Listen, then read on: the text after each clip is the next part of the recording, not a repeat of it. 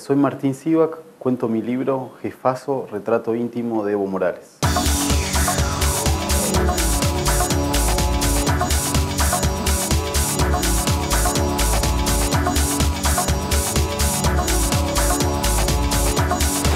Cuando tenía el primer manuscrito listo, no tenía título el libro. Entonces, eh, al leerlo y ver tantos jefazos, jefes, jefecitos, dije, es jefazo el, título. Eh, en, Bolivia se prestó a que eh, analistas eh, anti-Evo lo usaran para, para, decir que eso muestra el autoritarismo de Evo, pero en realidad como decís vos es más un juego, de, es, la inversión, ¿no? nadie le llama ni siquiera jefe a Evo Morales. Evo Morales a las personas pocas personas, a las que respeta, a las que tiene simpatía, confianza sobre todo, la llama, la llama jefazo. Entonces ahí viendo la reiteración de jefazo se me ocurrió ponerle a él eh, jefazo. Incluso fue una de las pocas preocupaciones que Evo Morales tuvo sobre el libro, digamos. Eh, en ningún momento ni él ni nadie, su gabinete, me dijeron puedo ver un párrafo o dar un capítulo. Lo único que alguna vez se inquietó fue el tema del, título. Quizás si vos lo, lo, lees así pensás que hay como una especie de sobre, digamos, como yo tuve mucho la situación de testigo, de verlo, por ahí algunos dijeron, bueno, esto es más una situación de sobreactuación para el periodista que está escribiendo. Y yo que lo conozco a él hace 13 años, siempre fue así con el tema del dinero. O sea, para Evo el dinero es como maldito, porque el dinero corrompió a algunos de sus compañeros.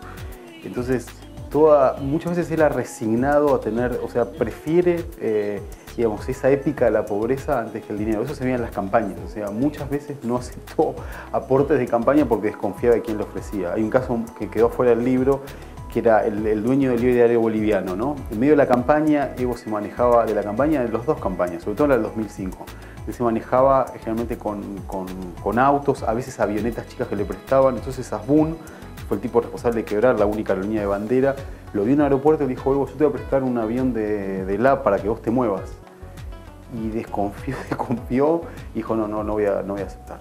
Y una de las primeras crisis de gobierno fue que él asumió y quebró el, dio y este tipo tiene pedido de captura. O sea, si lo hubiese aceptado ese avión, quizá posterior y hubiese tenido esas disputas. Entonces, hay una cuestión de, desconfiar mucho de, de, donde, de las personas que le quieren ayudar con plata y el desprendimiento y el ahorro que por lo menos a mí me, resultaba por lo menos absurdo. Eh, yo cuento situaciones donde él, una vez que estábamos en, en Nigeria, y la organización de una cumbre daba la suite presidencial solamente para el presidente y el resto que tenía, cada, país pagaba las otras habitaciones. Y él preguntó cuánto sale la habitación, dijeron 200 dólares, dijo no, vamos a dormir todos juntos. Es que yo dormí en la misma cama con el ministro de la presidencia, eh, los custodios en el living y todo, eso. Vos decís, bueno, aunque el, presupuesto nacional boliviano no es muy, no es muy grande, eso es totalmente irrelevante, pero me parece que él cree mucho en esos gestos y que en esos gestos contagian a toda la, administración pública. Él dice, yo hago la, misma vida de campesino, no voy a cambiar mi vida a la que estoy en el palacio. Entonces esa es la idea, de empezar a las, se levanta a las cuatro y media y hasta las 12. También las cosas que me pasó cuando empecé el, libro, la primera semana, que fue una semana, que es el capítulo 1, ¿no? una semana en Bolivia con él, al cabo de la semana tuve que ir a, me tuve que dar eh, oxígeno artificial. O sea, me agarró, me, descompuse por, por... Mirá que yo lo único que hacía era tomar apunte y él, o sea, daba discursos, firmaba decretos, decía... Eso es, es, no sé, suena exagerado, pero eso es impactante, ¿no? La, fortaleza física que tiene él y, cómo se burla de los que no lo podemos seguir. O sea, de hecho, Evo Morales no tiene secretario privado el ítem, que es como decir, el cargo de secretario privado está desierto porque las personas que intentaron, todas terminaron hospitalizadas. El último es el cónsul, el cónsul en Buenos Aires, el actual cónsul en Buenos Aires, terminó hospitalizado. O sea, porque es, es imposible empezar a las cuatro y media y estar hasta, hasta las 12. O sea, no hay una idea ni de las vacaciones, ni del descanso.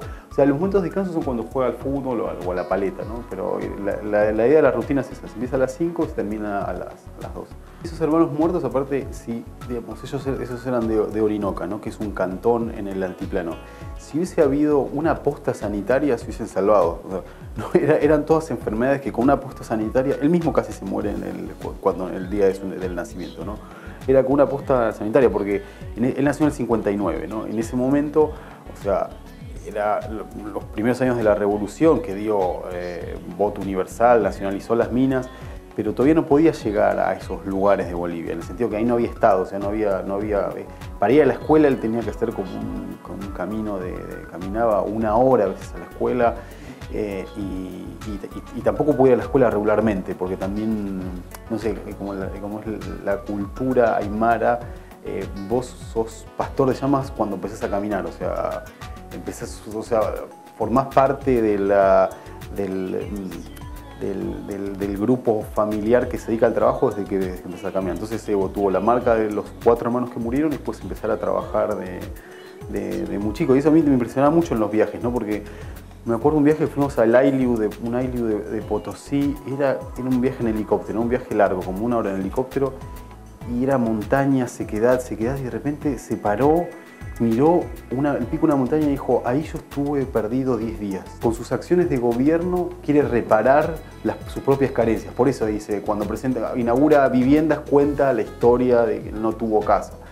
Y eso también tiene un, costado que por ahí es más, más conflictivo, que es la personalización. Es decir, al Evo resumir muchas de las, de las partes más importantes de la historia reciente de Bolivia, el poder se termina personalizando mucho. Entonces, entre eso, la, idea de muchos que, él se quiere quedar 50 años, eh, los afiches, entonces hay toda una cosa de mucha personalización que yo al principio del libro la verdad lo veía como un tema, como incluso en la, entrevista yo a veces le pregunto sobre la personalización, pero después al mismo tiempo, digamos, formalmente eso puedes decir que es, que criticable, es discutible, ahora después cuando pasás muchos años ahí, y ves el nivel de identificación que tienen los sectores populares, sobre todo campesinos del campo, con Evo Morales, eh, no es tan fácil. No es solamente decir, bueno, hagamos que sea una democracia parlamentaria, eh, no, es tan sencillo.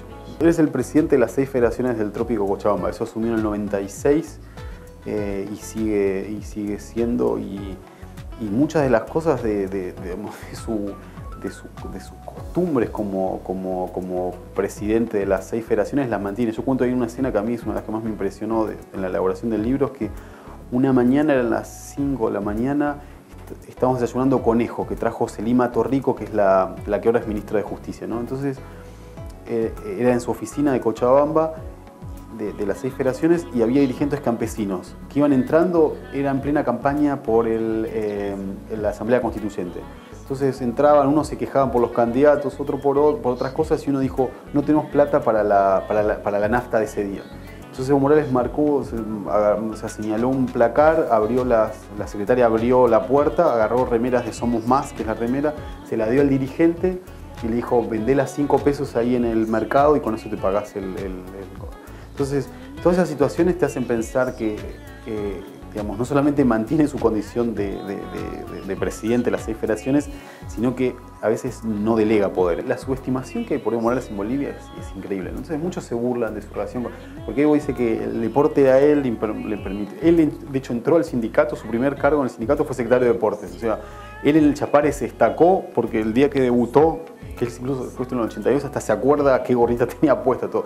Ese día que hizo muchos goles, pasó a ser alguien para los otros cocaleros y él en las asambleas le decían joven pelotero porque eh, en, las ampliados, reuniones grandes, llevaba la pelota para el descanso jugar. Siempre fue el fútbol una forma de, integrarse, eh, de, sí, de, divertirse.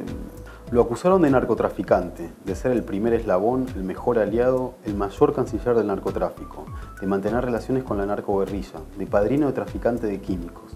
Lo llevaron ante la justicia por los cargos de asesinato, de instigación al crimen, de responsable de desapariciones, de alzamiento armado, de atribuirse los derechos del pueblo, de pertenecer a una organización criminal, de atentar contra el transporte y el servicio público, de destruir bienes del Estado.